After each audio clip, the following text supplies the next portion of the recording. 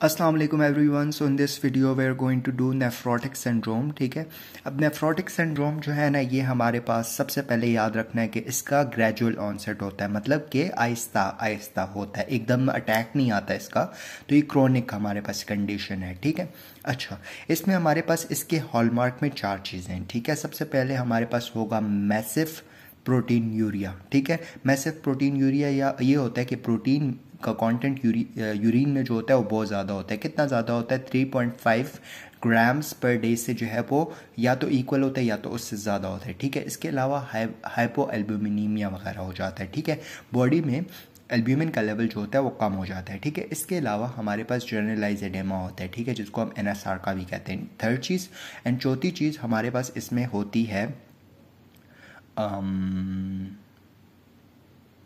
Hyper lipidaemia and lipid ureas ठीक है? Hyper lipidaemia and lipid ureas ठीक है? अच्छा जी।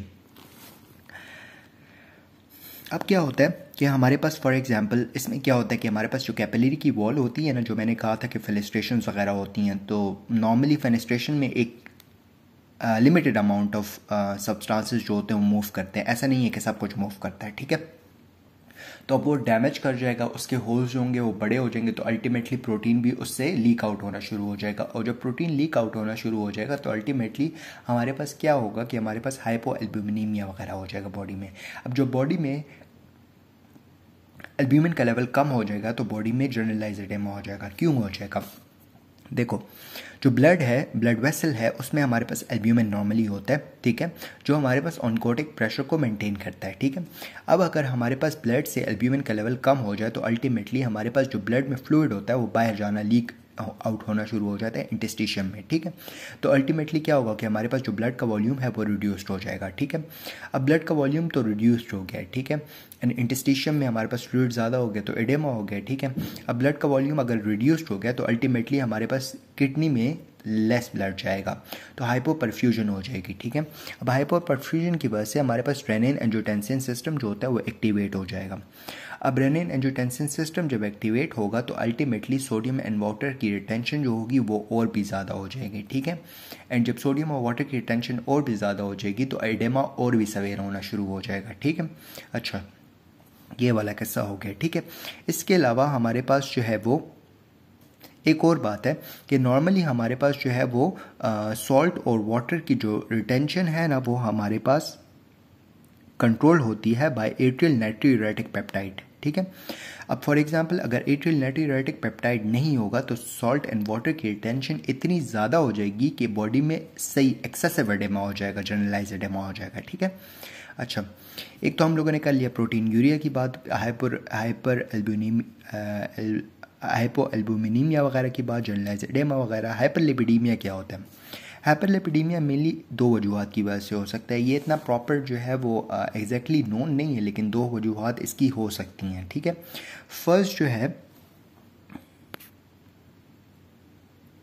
एक मिनट। फ़र्स्ट जो है, या तो हमारे पास ये एल्ब्यूमिन का लेवल जब कम हो जाता है ना तो अल्टीमेटली लाइपोर प्रोटीन की सिंथेसिस ज़्यादा हो जाती है। तो अल्टीमेटली कंपनसेटरी मैकेनिज्म होता है ताकि प्रोटीन और लिपिड जो है वो मेनटेन हो जाए, ठीक है? इसके अलावा हमारे पास जो बहुत सारे ऐसे सब्सटांसेस होते हैं जो लिपिड को जो लिपिड रिटेन इनहिबिटर्स होते हैं, ठीक है? मतलब को लिपिड को रिटेन नहीं होने देते, ना? तो अगर उनका लेवल कम हो जाएगा तो लिपिड रिटेन होना शुरू हो जाएगा और जब लिपिड रिटेन होना शुरू हो जाएगा, ठीक है? तो अल्टीमेटली क्या होगा कि हमारे पास hyper lipidaemia and lipid urea हो जाएगा, ठीक है? अच्छा जी। अब हम पढ़ते हैं कि associated disease with nephrotic syndrome तो associated disease with nephrotic syndrome में चार डिज़ीज़ आती हैं। एक हमारे पास है मिनिमल चेंज डिज़ीज़ ठीक है? इसके अलावा इसके अलावा है एफ़ एस जी एस ठीक है? जिसको हम कहते हैं focal segmental glomerular sclerosis third हमारे पास है एम एन मेम्ब्रेनियस नेफ्रोपैथी ठीक है? और थर्ड हमारे फोर्थ हमारे पास है M P G N membranoproliferative glomerulonephritis membranoproliferative glomerulonephritis and dense deposit disease ठीक है डेंस डिपॉजिट डिजीज ठीक है अच्छा जी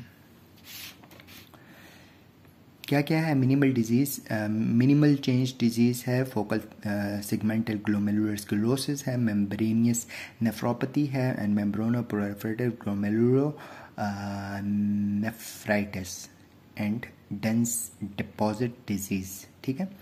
ये हमारे पास हो गया नेफ्रोटिक सिंड्रोम नेक्स्ट वीडियो में हम लोग करेंगे नेफ्रेटिक सिंड्रोम ठीक है? और इसकी जो डिजीजेज होंगी ना, ये इंडिविजुअली हम लोग नेफ्रेटिक सिंड्रोम के बाद प्रॉपरली जितनी भी इंपॉर्टेंट डिजीजेज हैं ना, सारी हम लोग कर लेंगे, ठीक है? Thank you